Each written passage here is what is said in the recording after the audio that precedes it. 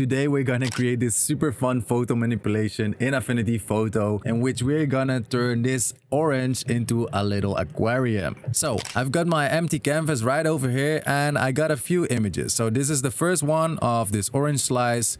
Then we've got this goldfish on a white background. Then we've got this water and finally, we have got this orange setup, let's say. And all of these images come from envatoelements.com. And, and if you don't know Envato Element, it has got like millions and millions of assets, including photos, videos, graphic templates, etc., etc. So very good platform to source high quality images and isolated photos, as you can see as well. All right, now let's first start by creating our scene. So the first thing what I want to do is select this orange right over here. And we're gonna do this by using the quick selection brush. So let's select the quick selection brush and let's just quickly brush over our subject, let's say. And we want to include everything except the shadow. So I'm not gonna need the shadow because we're gonna manually paint in the shadows, which is gonna be a lot nicer to me and I think this looks pretty good. So what I'm gonna do now is I'm gonna press Command J to duplicate this. So now we've got our orange onto its own layer. So I'm gonna press Command C to copy it and I'm gonna go over to my document and press Command V to paste it. And now I'm just gonna resize it a little bit. So I'm gonna make it pretty big and I'm gonna position it around here. Now the second photo that I'm gonna need is this uh, orange slice or orange part let's say. Same thing, I'm just gonna grab my quick selection brush tool and I'm gonna make a quick selection of this orange. And also here I'm not gonna need the uh, shadows so uh, because we're gonna draw these in ourselves.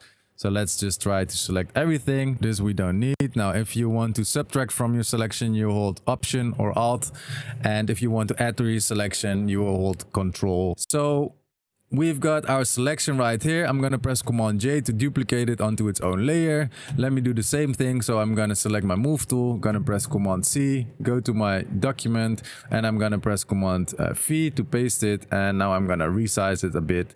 And I'm gonna position it just that it overlaps our um, our orange, let's say. So something like this. Now, let's create some shadows first, because then at least it looks like they are standing on a surface or laying on a surface. So very simple, we're gonna create a new pixel layer. I'm gonna press B on the keyboard and I'm gonna go to my basic brushes.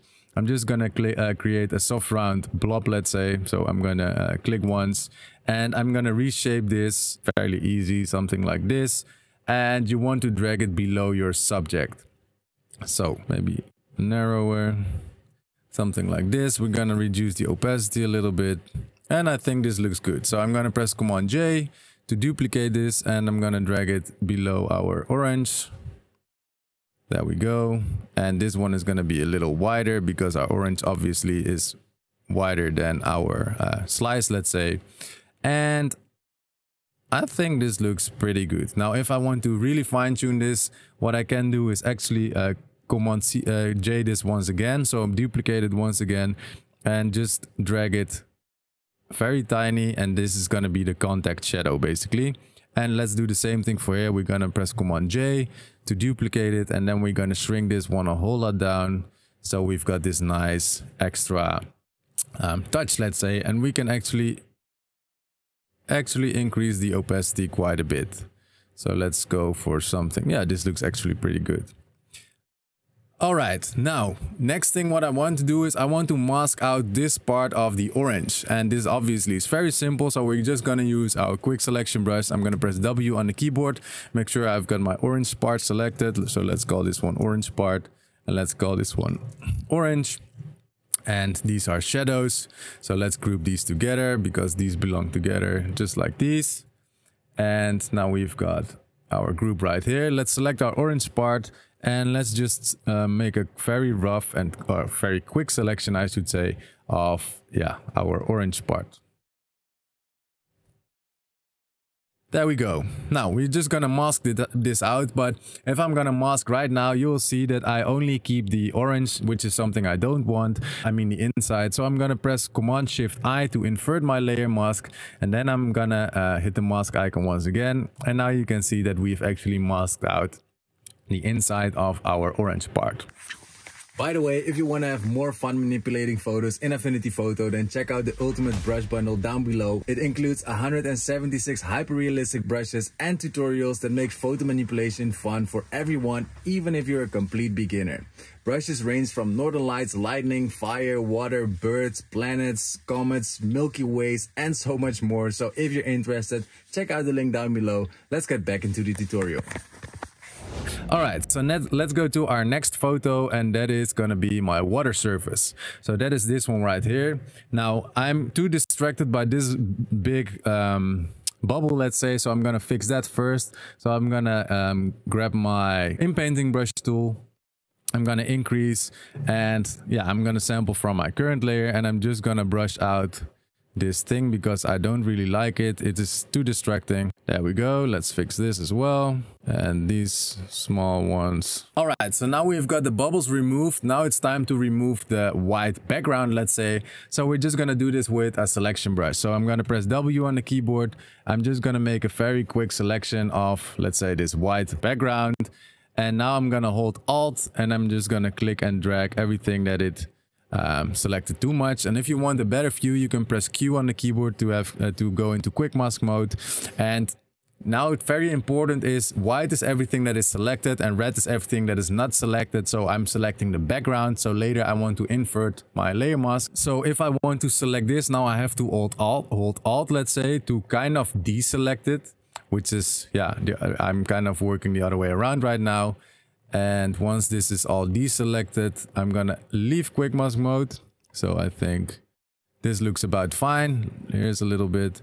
I'm gonna leave quick mask mode by pressing Q and I'm gonna press Command Shift I to invert my layer mask. And then I'm gonna hit the mask icon and now you can see that we've got this nice cutout of this water. Now we can actually merge this one down. So I'm gonna press Command E and now it is merged down below. So we're gonna copy this one and we're gonna move over to our scene. And now I see that my orange slice is way too much to the front. So I'm gonna move it a little bit more back. So something like right here maybe. And now I'm gonna press Command V to uh, paste my water in. Now, a little trick that is pretty cool to know is you can see that my water is way too big. If you double click the thumbnail of your uh, picture, so let's rename this water. If I double click the thumbnail, you see that the whole image now fits to my screen. So now it is way easier to resize this thing. So just double click the thumbnail and now we can resize it and reposition it however we need. So something like this, let's zoom in by pressing Command 0 and we want to position this thing just how we want. Now we, we, we want to make sure that it actually covers the whole thing. So we're gonna drag it down a little bit and also we want it to be below our orange part. So something like this looks pretty good to me. Now you can see that at the top it doesn't really match our orange. So let's actually tackle this problem right now. So I'm gonna I'm gonna use the mesh warp tool and if you cannot find it, you can go to view, you can go to customize tools and then it is this one right over here. So you can just click and drag this onto your toolbox, let's say. So what we're gonna do now is use the mesh warp tool and I'm just gonna click and drag this thing so that it actually fits. So maybe something like this. And yeah, we could, if we wanted to, we can also fix this right now, but we could also mask it out. But since we're now in our mesh warp tool, let's just fix everything with this tool. So we're gonna just click and drag and move this thing around. Just drag our handles like so, drag this handle down. And now it actually looks like our water fits actually. So I'm gonna hit apply and this looks beautiful.